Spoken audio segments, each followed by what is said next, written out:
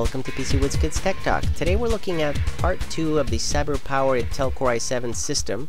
In part 1, we did a brief overview, we went a walk through all the way through the system, and I showed you all the parts that are inside this Cooler Master 692 Advanced Edition case. So now what we're going to do is take a look at these parts in action. So do some benchmarking, some tests on this test system. Now in Windows 7 here, we're using Home Premium 64-bit. You can see that I'm running the uh, CPU. It's a uh, quad-core um, hyper-threaded CPU and it's idling right now. It's basically not being utilized. So uh, you can see that uh, the processor speed is low. Okay, so it's an energy saving feature and of course temperatures are low as well. Now we're using water cooling and uh, you can see the temperatures there when it's idle. When you're utilizing the CPU, it's going to go up. The processor speed kicks in, goes higher, and um, because it's using turbo, it'll go beyond the 2.9 gigahertz to all the way up to 3.6 gigahertz, so they say in Intel. Now, uh, the Intel board that I'm using here, the DP55WG board, is a reliable, strong board, like I mentioned. However, it does lack features for overclocking. Uh, the memory itself came underclocked at 533 megahertz. Uh, could have been set for um, the XMP profile, but uh, instead it was not. So I had to go into the BIOS later and change the uh, BIOS setting so that it uses the XMP profile because this memory can run at uh, over uh, 2 gigahertz if, if you wanted. You could overclock it. So um, definitely good memory. Now um, the GTX 465 from Palit that we're using here also like I mentioned is DirectX 11 compatible now, as uh, most new um, 400 series cards are from NVIDIA. And uh, it's running a 256-bit, uh, as you can see, and 1 gig of GDDR5.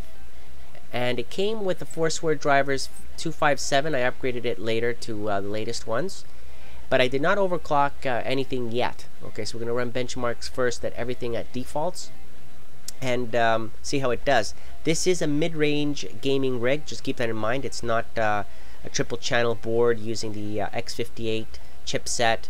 So um, it is the most you can get from an LGA 1156 board, however. Okay, so uh, top of line there with respect to that level of board. So that's why this is a mid-range system, mid-range video card, and um, with only 4 gigs of RAM. Now the testing tools that I'm using here are the usual. Okay, CPU-Z, Core Temp, GPU, MSI, um, all of those tools there for monitoring, testing, overclocking, and of course checking out scores so I can, you know, compare benchmarks and uh, results as well as games. We want to get a wide range of games so we can see how the uh, video card, CPU, memory, everything all works together without any bottlenecks to kind of push push the card to limit because the GTX 465 does have CUDA, it does have uh, PhysX, so we want to see how that how that performs. Now here is the PC Mark Vantage 64-bit scores. Okay, if you're interested in the PC Mark suite scores,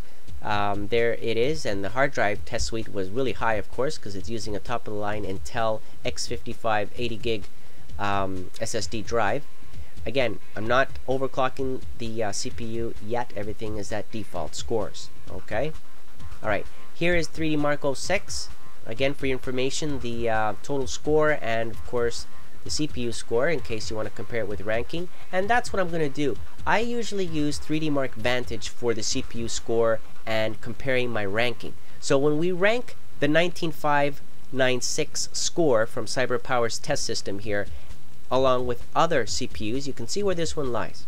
Okay, again, running at default clock speeds. Of course, if you overclock it, it's going to be higher. Now, when I uh, looked at the overall system and compare it to other systems, here this gives you an idea on where this system lies. Again, not overclocking the CPU. Now, if we do overclock the CPU at 4 gigahertz, so a huge jump from 2.9 all the way to 4 gigahertz, using that multiplier and that bus speed. Of course, if we run it 100% at that, it's going to go up the temperatures big time. Okay, so obviously I installed the latest drivers like I mentioned for the uh, GPU and then overclock the GPU as you can see there's the core memory and the shader um, settings that I achieved using the MSI Afterburner. And then I put it all together and then there's the 3D Mark Vantage score now. So much higher huge improvement there. You're gonna get at least 10 frames per second more by overclocking it like this okay so that gives you a good idea. So next after this what we're gonna look at are games. Now before we get into the games last thing I wanted to talk about is the CPU and GPU test that I did with Cinebench. So running at default clock speeds, here are the scores that I got with the Cinebench, which really stress tests uh, rendering basically and processing. So not bad at all. If we overclock it to 4 gigahertz, obviously the ranking goes up higher, as you can see here, and it outperforms those two CPUs. Now, when it comes to the SSD benchmarks, the read and the write, Okay, very important. Read megabytes per second, 234 on the sequential read, and 83 megs per second roughly on the write. And uh, the Atto disk benchmark also concurred. I ran that test as well. That's pretty good. 250 megs per second uh, when you're transferring files is a huge, huge amount of data. Now here are the games now. With Batman starting here, of course, we're enabling PhysX. We're testing out everything on very high settings and getting some very nice smooth results on um, on Batman as you can see here on those two screen resolutions okay now I did run more benchmarks on different types of games more games uh, and benchmarks will be posted online on my website article. Now here is Crysis Warhead. Again it did stress test the GPU to the max. It couldn't really do more than 38 frames per second on ultra high uh, settings so obviously I enabled enthusiast levels. So with that maxed out that's all I can get. On Dirt 2 however using the default built-in benchmark that that game has it got huge frames per second as you can see using DirectX 11 enabled as very nice smooth graphics not bad at all. Next game here Battlefield Bad Company 2 very nice first person shooter if you're uh, interested in playing these types of games. Wow terrific results super smooth everything maxed out of course on those two uh, screen resolutions so very nicely done.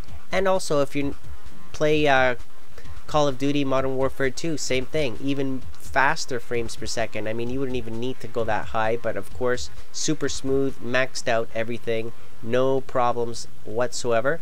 And um, also on Stalker here I uh, ran some more benchmarks as well. Everything on uh, ultra high full settings on the DirectX 11 as well as you can see and those are the min, average, and the max frames per second on the different types of uh, tests. Now I would have liked to see a 1 terabyte or 500 gig drive included along with the SSD drive because obviously 80 gigs fills up fast.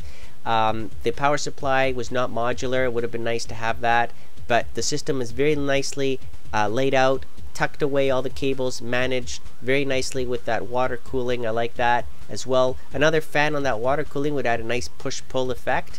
But overall, for a mid-range game PC, not bad at all. Especially if you're not interested in putting it all together and you want it readily made, then CyberPower can do that for you. So I'd like to thank CyberPower for providing it, and I hope you enjoyed this video, and thank you for watching.